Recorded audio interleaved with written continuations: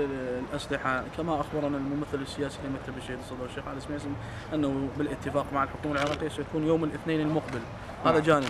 وجانب آخر أنه شرط التسليم أن تتعهد الحكومة بشيئين. الشيء الأول إطلاق سراح جميع المعتقلين. والشيء الثاني هو عدم ملاحقة التيار الصدري والانتباه إلى هذه المدينة التي يشوبها نقص كبير في الماء والكهرباء والمجاري.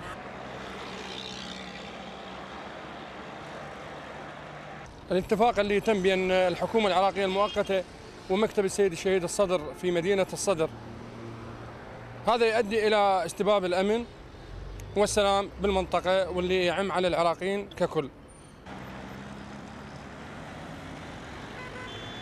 Today we have there is a meeting between uh, this uh, committee and the Iraqi government to reach for the last uh, uh points. Uh, especially, we want to have this city of violence to have it uh, sharing in the next election uh, because there are three million people living in the city and it is not fair to have these people not sharing in the election.